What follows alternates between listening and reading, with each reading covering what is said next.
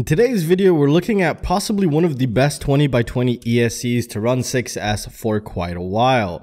So I'm calling this the king of 20 by 20s in terms of noise testing. And what we're looking at today is a new product from T-Motor, which is a T-Motor F55 amp 6S 4132-bit Mini, which is the Ultra Power. Now before we jump into the results, let's quickly take a look at some of the accessories and talk about some of the dimensions and weight of this thing. And before we jump into that, a word from our sponsor. PCBWay is one of the leading PCB manufacturers out there and it is the manufacturer I use for my products. Now if you're either a hobbyist and or looking to create a final product, PCBWay is going to be a really great choice with their 24 hour and also assembly services. So go ahead and check the links down below.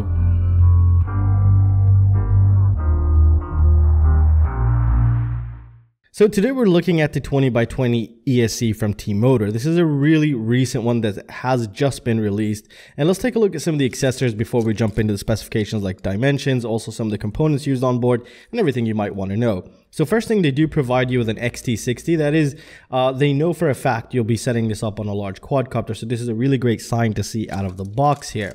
Now this was only tested with a low ESR capacitor because the low ESR capacitor comes pre-installed and it's highly recommended to always run a low ESR capacitor. Now, if we take a look at some of the accessories provided, they give you a normal cable. This would work only if you had another T-Motor uh, model flight controller that you'd be able to connect this ESC to directly with this connector.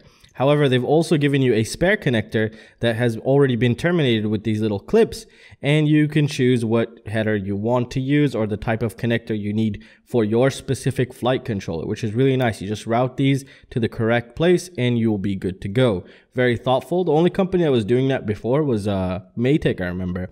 And now I see a lot of proper companies do that as well. And they also provide us with five rubber gummies here. Now this is an M2 hole uh, ESC and uh, if you don't use the gummies, it's actually an M3. So you can do what you want here. But um, it's really great that they provided these because nothing would really spin inside. So you would need these spacers here. And they give you a total of 10 of these. Uh, five of them are a bit larger than the other ones. You can tell there's another baggie here with smaller ones. So they give you a total of 10 here. Now, if we move all this stuff to the side, let's talk about the dimensions here and also the weight because obviously that is a very important factor here. Now, for weight, this thing is 15 grams, which is pretty insane. With the heatsink, as you can tell, the heatsink's only on one side. And they are using the big FETs. You can have a close glimpse right there. And you can tell the board is also conformal coated, which again is really nice. And the low ESR capacitor is a proper Rubycon 470 low ESR capacitor. Now the dimensions here, I've taken different uh, measurements so you can see which one would work best for you. And what do I mean by that? Well, with the capacitor, without the capacitor and everything of that nature. So if we're talking about length here, from here to, to these little motor outputs right there, we have 40 millimeters in length with the capacitor, it goes up to 57 millimeters. So from here to here, 57 millimeters. In width, we have 35 millimeters from this edge to this edge. And in height from the highest points, it's 7 millimeters. So it would be from this little uh, inductor to the highest point of the heatsink right here is 7 millimeters. And again it is 15 grams which is really light. And this is one that I'd highly recommend. This is actually I think the first time I've ever recommended a 20 by 20 for a 5 inch full-fledged 6s setup which is pretty insane. And T-Motor did a hell of a job here. And um, yeah that's that's some nice stuff right there. So this is really great to see here and if you're curious, this is a 32-bit ESC, so it runs BLHeli32 out of the box, and we do have a nice, beautiful fat heatsink for protection and also heat dissipation. Now let's go ahead and jump into the testing results and uh, take a look at this bad boy right here. All right, so let's go ahead and take a look at the results here. So on the left here, we're looking at both of these tests, first of all, are with the low ESR capacitor that's provided because it's pre-installed and most people will just install it the same way it is. Now, what we're looking on the left here, what we're looking at on the left here is the throttle uh, noise. So we test the throttle noise at each level. So for example, here's 10% throttle.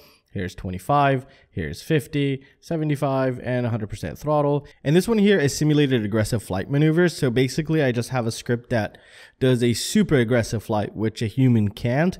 And we stress test it and see how good it tests if it blows up or anything weird starts to happen. And that's what we see here. Now again, both of these are done with the low ESR capacitor.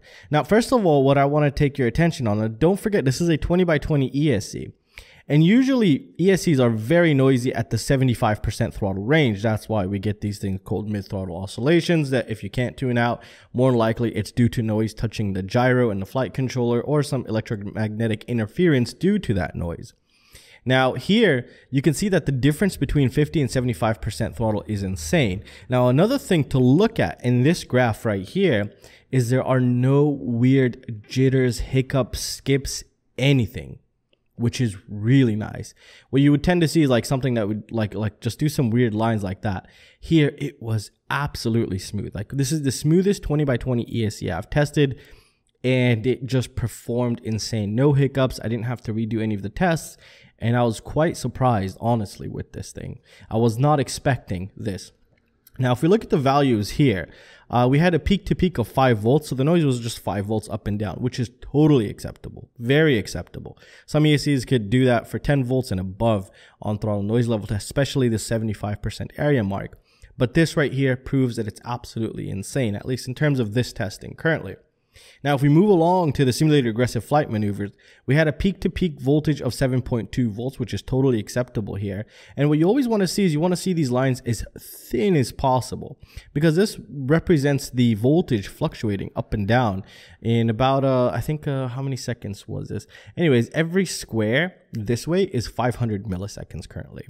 So you could see how much change happens in 500 milliseconds right there through the motors, the ESCs and everything. So it is a very harsh stress test here.